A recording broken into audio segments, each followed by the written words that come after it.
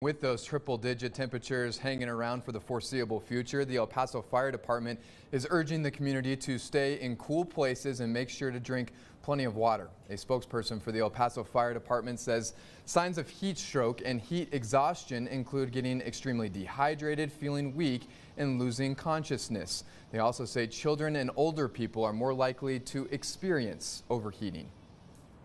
Of course, uh, kids and the elderly are more vulnerable because their bodies can't cool down the same way as an, uh, as an adult. So that's why we're asking people to be on the lookout for any of the children outside.